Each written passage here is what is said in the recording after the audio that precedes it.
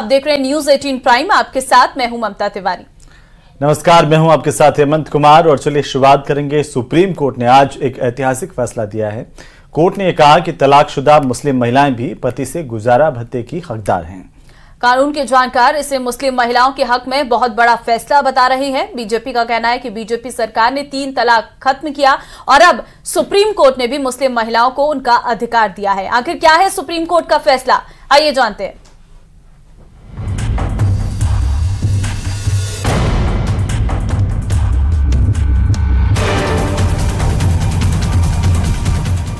तलाकशुदा मुस्लिम महिलाएँ भी पति से गुजारा भत्ते की हकदार हैं। सुप्रीम कोर्ट ने मुस्लिम महिलाओं के गुजारा भत्ते को लेकर यह बड़ा फैसला दिया है। कोर्ट ने कहा है कि तलाकशुदा मुस्लिम महिला सीआरपीसी की धारा 125 के तहत अपने पति से भरण पोषण की हकदार हैं। जस्टिस बी वी नागरत्ना और जस्टिस ऑगस्टीन जॉर्ज मसीही की बेंच ने एक मुस्लिम युवक की याचिका को खारिज करते हुए ये आदेश दिया।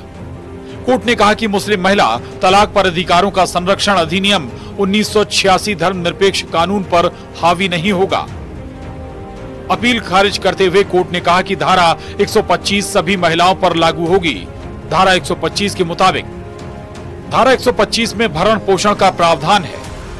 इसके तहत पत्नी, संतान और माता पिता के भरण पोषण का प्रावधान। अगर पर्याप्त साधन हो तो भत्ता देने से इनकार नहीं किया जा सकता है। आजीविका का साधन न होने पर भत्ते की मांग की जा सकती है। सुप्रीम कोर्ट के इस फैसले पर वकील अश्विनी उपाध्याय ने कहा कि ये फैसला ऐतिहासिक है। 1985 के बहुचर्चित शाहबानू केस में सुप्रीम कोर्ट ने मुस्लिम महिलाओं के हक में फैसला दिया था। लेकिन तत्कालीन सरकार ने नया कानून बना दिया था। लेकिन अब सुप्रीम कोर्ट ने कह दिया है कि धारा 125 हर धर्म की महिलाओं के लिए कानून है। अब आज जो सुप्रीम कोर्ट की जजमेंट है, सुप्रीम कोर्ट ने दो महत्वपूर्ण बातें कही। पहला कहा कि धारा 125 जो सीआरपीसी के, वो सेक्युलर कानून है पर्सनल कानून है, मैंने धर्म विशेष का कानून नहीं है, हर धर्म की महिलाओं का कानून है। और दूसरा, जिस तरह से हिंदू महिलाओं को, बौद्ध महिलाओं को, सिख महिलाओं को, जैन महिलाओं को, क्रिश्चियन महिलाओं को मेंटेनेंस पाने का अधिकार है, उसी तरह से मुस्लिम महिलाओं को भी मेंटेनेंस पाने का अधिकार है। तीसरा, सुप्रीम कोर्ट का जो संविधान है भारत का जो संविधान है, भारत का संविधान भी ये कहता है कि महिलाओं को महिला के साथ डिस्क्रिमिनेट नहीं किया जाएगा। सोशल एक्टिविस्ट अंबर जैदी ने सुप्रीम कोर्ट के फैसले का स्वागत किया। उन्होंने तो देश में यूनिफॉर्म सिविल कोड की वकालत की। सुप्रीम कोर्ट का यह फैसला स्वागत योग्य है, क्योंकि हम सब जानते हैं कि जैसे कि संविधान ने भारत के हर एक नागरिक को समान अधिकार सुनिश्चित किए हैं, लेकिन भारत की मुस्लिम महिलाओं को उनके अधिकारों से वंचित रखा गया आज ही नहीं, बल्कि हम पिछले 77 वर्षों में देखते हैं कि भारत की मुस्लिम महिलाओं को जो उनके बेसिक राइट्स हैं, उनको पर्सनल लॉ के नाम पर उनसे वंचित रखा गया है, और इसीलिए हम लोग अक्सर मांग करते हैं इनफैक्ट सुप्रीम कोर्ट में हमारी याचिका भी रही कि यूनिफॉर्म सिविल कोड इस देश में इम्प्लीमेंट होना चाहिए लागू होना चाहिए क्योंकि जैसा कि संविधान ये सुनिश्चित करता है कि सबको समान अधिकार मिलने चाहिए। बीजेपी के प्रदेश अध्यक्ष वी शर्मा ने सुप्रीम कोर्ट के फैसले पर खुशी ज़ाहिर की है। माननीय सर्वोच्च न्यायालय ने एक मुस्लिम युवक ने जब पिटीशन जो फ़ाइल की उसके आधार पर माननीय सर्वोच्च न्यायालय ने उसकी पिटीशन को खारिज करते हुए कहा है कि अगर आपने तलाक दिया है तो ये जो कानून है सीआरपीसी की धारा 125 ये सभी महिलाओं पर एक जैसा कानून लागू होगा। सीआरपीसी की धारा 125 के तहत महिलाओं को अपने पति से गुजारा भत्ता मिलता है। इसी साल बॉम्बे हाईकोर्ट ने भी एक फैसला दिया था। हाईकोर्ट ने कहा था कि तलाकशुदा मुस्लिम महिला दोबारा शादी कर लेती है। तब भी वो अपने पूर्व पति से गुजारा भत्ता पाने की हकदार है। और अब सुप्रीम कोर्ट ने कह दिया है कि तलाकशुदा मुस्लिम महिलाएँ भी गुजारा भत्ता की हकदार हैं। Bureau report news eighteen. आँखें नम है कठुआ हमले में शहीद वीर जवानों को देश का नमन है। कायर आतंकियों की वजह से एक माँ ने अपना बेटा खो दिया। एक सपूत अपने घर पहुँचा लेकिन तिरंगे में लिपट कर एक पिता ने अपने बेटे को कंधा दिया। एक बच्चे ने इस दुनिया में आने से पहले अपने पिता को खो दिया। शहीदों के परिवार के आँसू आज बदला मांग रहे हैं पूरे देश में। पाकिस्तान के खिलाफ गुस्सा उबल रहा है।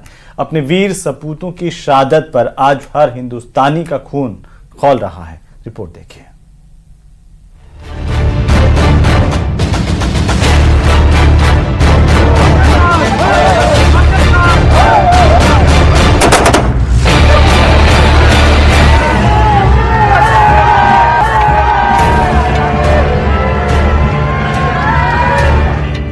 आज देश में गम है, गुस्सा है और आक्रोश है। आखिर कब तक जवान कुर्बानी भी देते रहेंगे? पाकिस्तान के आतंकियों ने हमारे वीर सपूतों को छीन लिया। आतंकियों को खत्म करने की सौगंध लेकर हमारे वीर जवान कठुआ के जंगलों में सर्च ऑपरेशन चला रहे हैं।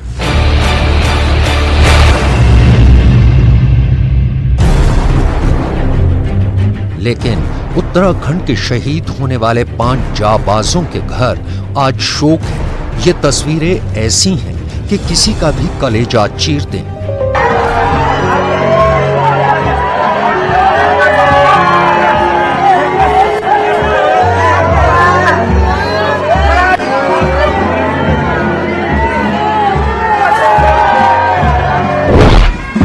हवलदार कमल सिंह पौड़ी के रहने वाले थे।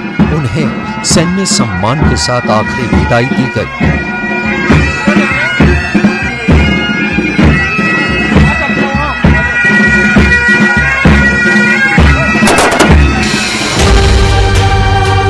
सोमवार दोपहर को अपनी पत्नी रजनी देवी से उन्होंने आखिरी बात की थी। इसके कुछ समय बाद ही उस ट्रक पर आतंकियों ने हमला कर दिया। जिसमें हवलदार कमल सिंह अपने साथियों के साथ सवार थे। कमल सिंह के गाँव में पाकिस्तान को लेकर लोगों में गुस्सा है और वो इसका परमानेंट इलाज की मांग कर रहे हैं। हमारे बच्चे, हमारे देश के ऐसे वो मारते जाएँगे तो हम तो एक दिन हिंदुस्तान खत्म हो जाएगा। इसलिए ये काम जल्दी से जल्दी होना, हमारे देश के राजनीति को ये इकट्ठा होकर ये सोच करते हुए आगे आना चाहिए, इस बात पे मंडन करना चाहिए आगे कदम उठाना चाहिए।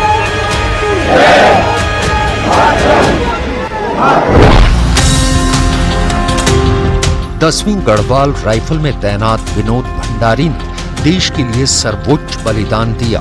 विनोद 2011 में सेना में भर्ती हुए थे।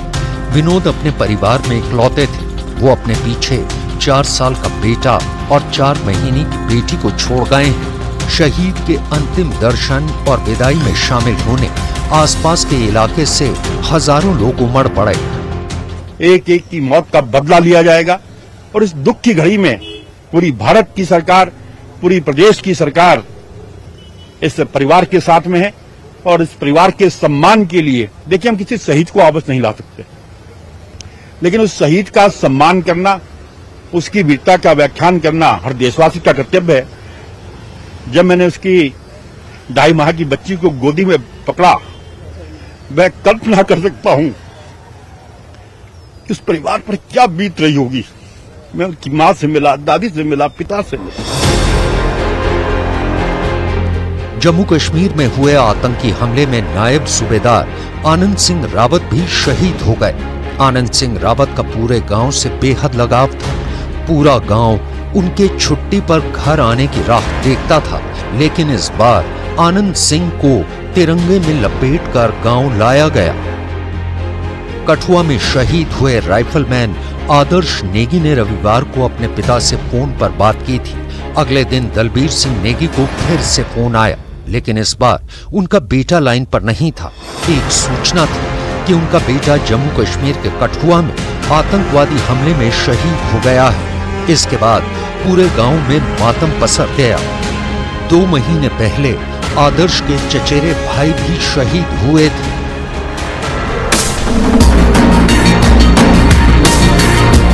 घात लगाकर हमला करने वाले ये कायर पाकिस्तानी आतंकी कहीं भी छिप जाएँ, उन्हें जहन्नुम तक पहुँचाए बिना एक भी जवान रुकने वाला नहीं है। कठुआ में पाँच वीरों ने सर्वोच्च बलिदान दिया है। शहीदों के परिवारों को अपने लाडले पर गर्व है लेकिन जिन आतंकियों की गोली ने इन जाबाजों का सीना छलनी किया है उनसे चुन चुन कर बदला भी लिया जा रहा है। एक के बदले दस मारने की कसम है।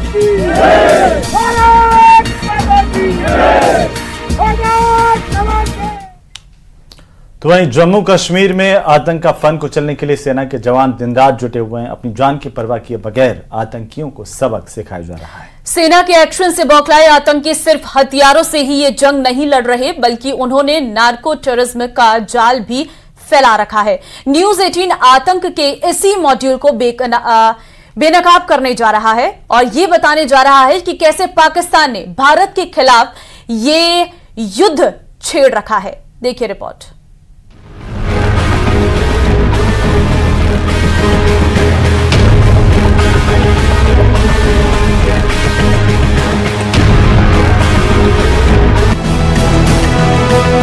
जम्मू कश्मीर में आतंक के खिलाफ सेना का अभियान लगातार जारी है। आतंक के नेटवर्क पर कार्रवाई हो रही है।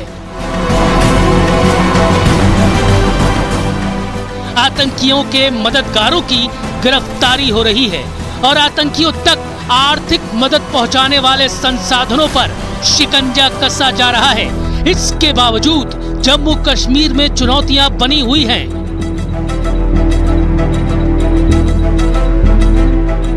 यानी इन्हीं चुनौतियों में से एक है नार्को टेररिज्म यानी मादक पदार्थों के कारोबार की चुनौती।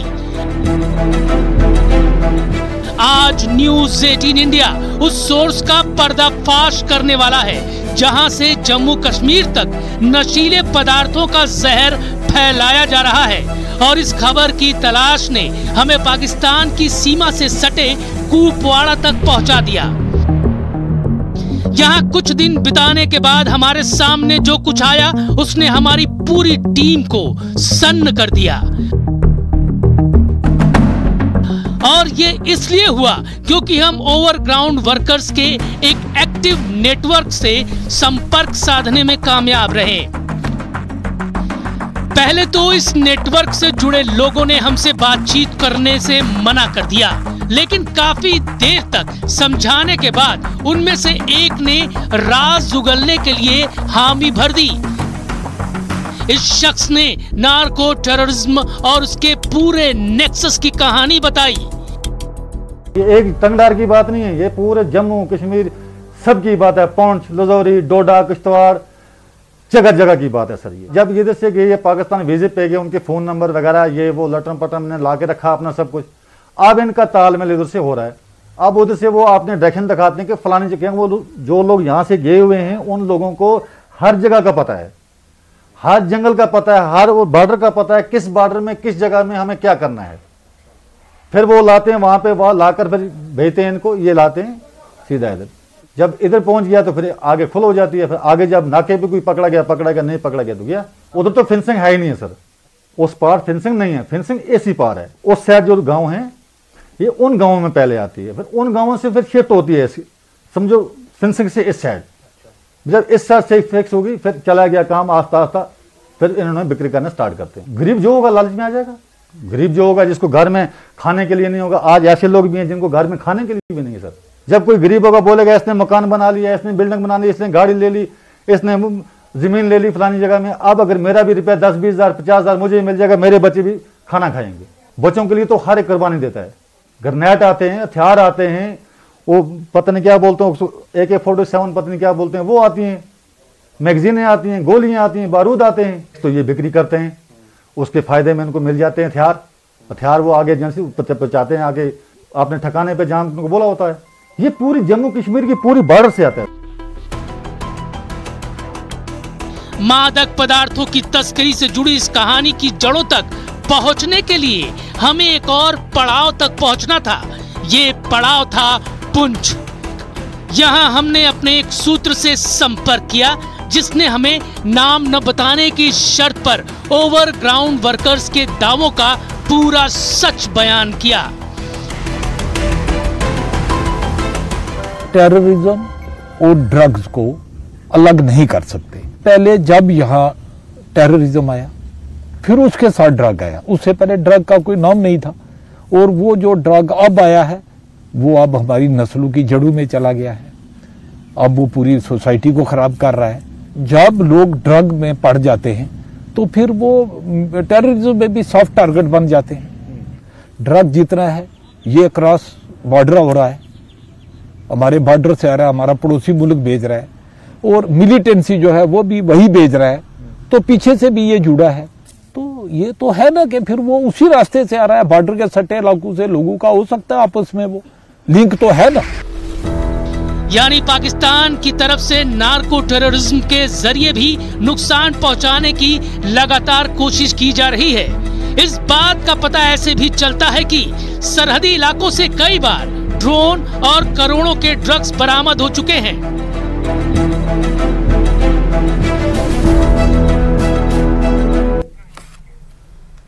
बाढ़ और बारिश ने देश के कई हिस्सों को प्रभावित किया है। मौसम विभाग ने सात राज्यों में अति भारी बारिश का अलर्ट जारी किया है। और इन राज्यों में अरुणाचल प्रदेश मेघालय असम गोवा महाराष्ट्र कर्नाटक शामिल हैं। इसके साथ ही तेरह राज्यों में बारिश का ऑरेंज अलर्ट जारी किया गया तो वहीं पहाड़ पर भारी बारिश के बाद अब लैंडस्लाइड की खौफनाक तस्वीरें भी सामने आ रही हैं। एक बार फिर बद्रीनाथ हाईवे पर ज़बरदस्त लैंडस्लाइड हुआ है। देखिए ये रिपोर्ट।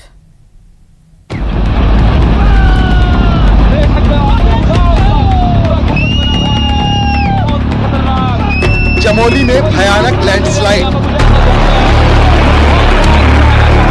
पाताल गंगा के पास भारी भूस्खलन। ये वीडियो खौफ पैदा करने वाला है। ये तस्वीरें बेहद डरावनी हैं। लैंडस्लाइड से बद्रीनाथ हाईवे बंद। देखिए इन तस्वीरों को। कैसे मलबा पहाड़ से नीचे गिर रहा है बड़ी बड़ी चट्टाने और मिट्टी नीचे गिर रही है सब तरफ़ गुबार नज़र आ रहा है देखिए ये तस्वीरें, किसी ने मोबाइल से रिकॉर्ड की हैं। इस इलाके में भारी बारिश के बाद से अब पहाड़ों का दरकना शुरू हो चुका है कई इलाकों में बारिश तो रुक गई है, लेकिन पहाड़ों की मिट्टी खिसकने लगी है, जिसकी वजह से ऐसी लैंडस्लाइड की घटनाएँ सामने आ रही हैं। अब दूसरे कैमरे से देखिए। ये तस्वीरें लैंडस्लाइड वाली जगह से बेहद करीब से ली गई है। देखिए, ये कितना भयानक मंजर है। देखते देखते लाखों टन मलबा पहाड़ से नीचे गिरने लगा। एक पल तो ऐसा लगा, मानो पूरा का पूरा पहाड़ ही टूट जाएगा।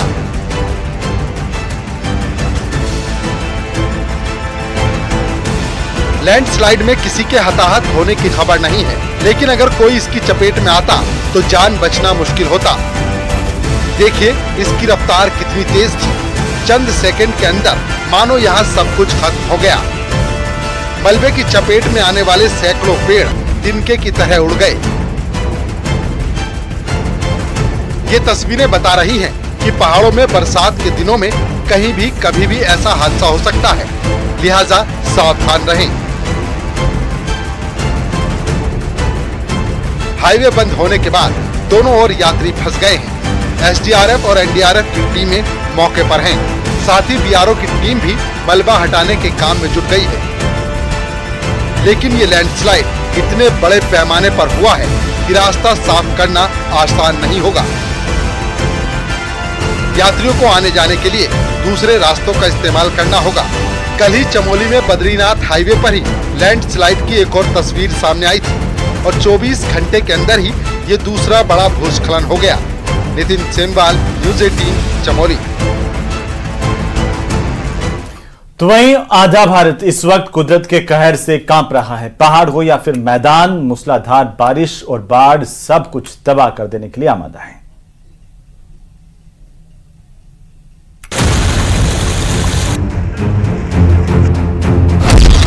कुदरत के कहर की डराने वाली तस्वीरें।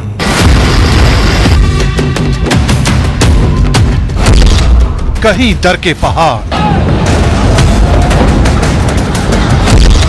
कहीं मूसलाधार बारिश से हाहाकार।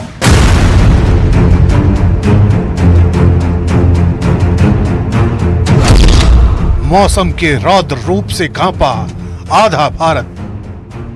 कुदरत जब अपने रौद्र रूप में होती है तो ऐसी ही डराने वाली तस्वीरों से इंसान का सामना होता है। सैलाब की टक्कर न इंसानों को बख्शती है, न इंसान की बनाई किसी दूसरी चीज़ को। हालात तब और भयानक हो जाते हैं, जब चंद घंटों के भीतर बारिश अपने रिकॉर्ड स्तर को पार कर जाती है। सबसे पहले आपको गुजरात के अलग अलग जिलों से आई कुछ तस्वीरें दिखाते हैं। गुजरात के द्वारका से रोंगटे खड़े कर देने वाली तस्वीरें आई हैं। यहाँ के टंकरिया प्रेमसर गाँव को जोड़ने वाली सड़क बाढ़ के पानी में समा चुकी है, जिस वजह से कई लोग सैलाब के बीचों बीच फंस गए। सभी लोगों को रस्सियों की मदद से रेस्क्यू किया गया। अमरेली में प्रचंड बारिश की वजह से हालात बद से बदतर हो चुके हैं। सैलाब का सबसे ज़्यादा असर कुकावाप तालुका पर हुआ है, जहाँ बाढ़ का पानी अपनी हदों के पार जा चुका है। लोग जान जोखिम में डालकर नदी पार करने को मजबूर हैं, जबकि बीच सड़क पर उमड़े सैलाब की वजह से ये कार भी फंस गई है, जिसे कड़ी मेहनत के बाद निकाला जा सका। गुजरात के ही राजकोट में लगातार हो रही बारिश मुसीबत का सबब बन गई है। ये तस्वीरें पापाट पारा की हैं, जहाँ मूसलाधार बारिश की वजह से नाला किसी दरिया में तब्दील हो गया है, जिस वजह से कई गाड़ियाँ बीच रास्ते में फंस गई और लोगों को आने जाने में खासी दिक्कतों का सामना करना पड़ रहा है। यहाँ सैलाब के टक्कर ने पूरे सिस्टम को धराशायी कर दिया है। शारदा नदी के पानी में अचानक आए उफान ने पूरे बिनौरा गाँव को अपने आगोश में ले लिया है। जिस वजह से भारतीय वायुसेना को रेस्क्यू के मिशन पर लगाया गया है। जगह जगह एनडीआरएफ, एसडीआरएफ, एसएसबी और पीएससी की बोट के ज़रिए लोगों तक मदद पहुंचाई जा रही है। बाढ़ की वजह से तो चलिए इसी के साथ ही न्यूज़ एटीन प्राइम में आज के लिए फ़िलहाल इतना ही। आप देखते रहिए न्यूज़ एटीन राजस्थान। नमस्कार।